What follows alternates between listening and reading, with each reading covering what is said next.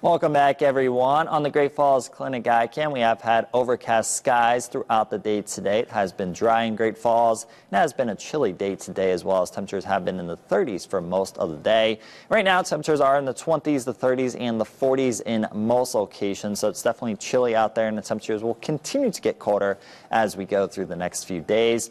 A lot of locations in north central Montana have been dry today, but along portions of the high line, specifically from Blaine County towards the North Dakota border, that's where we have had some light to moderate snow falling throughout the day today. We're still seeing some of that snow right now.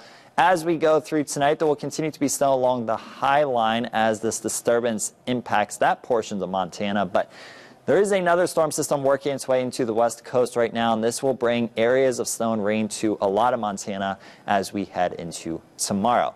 For the first half of tonight, you can expect mostly cloudy to overcast skies, and there will continue to be snow showers along the high line, especially central and eastern portions of the high line. And then later on tonight, once we get past midnight, that's when that next disturbance will begin to impact Montana. So there are going to be scattered areas of rain and snow around during the second half of tonight.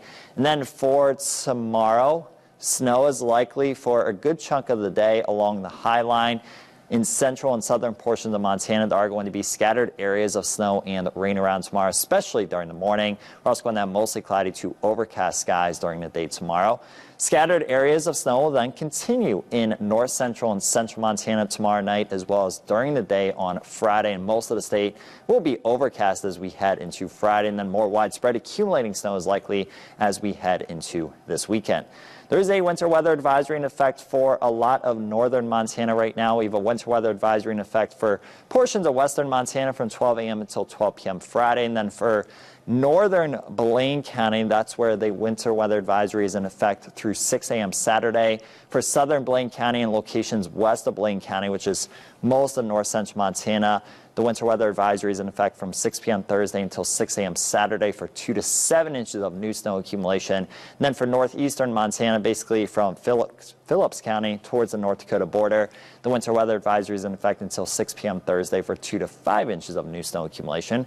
There's also a winter storm warning for locations along and just east of the Continental Divide from 6 a.m. Thursday until 6 a.m. Saturday, 5 to 15 inches of snow accumulation in the lower elevations with up to 2 feet of snow accumulation possible in the mountains. And finally, there is a winter storm watch in effect for basically all of north central Montana from 6 a.m. Saturday until 12 a.m. on Monday for 5 to 10 inches of snow accumulation this weekend.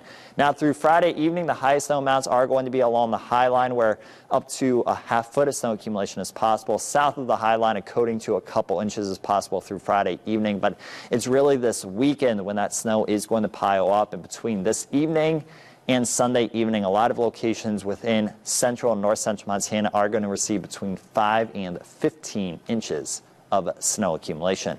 It is going to continue to be a bit breezy this evening, but that wind will diminish as we get closer to sunset with just a little bit of a breeze around overnight tonight. And then for tomorrow, gusty winds along the Rocky Mountain front as well as around the Helena area. A bit breezy in portions of north central Montana during the day tomorrow. That wind will then diminish as we head into tomorrow night. Lows are going to be in the 20s and the upper teens tonight. Tomorrow, high temperatures are going to range from the mid 20s to the mid 40s, and then it will be cold for everyone as we head into Friday.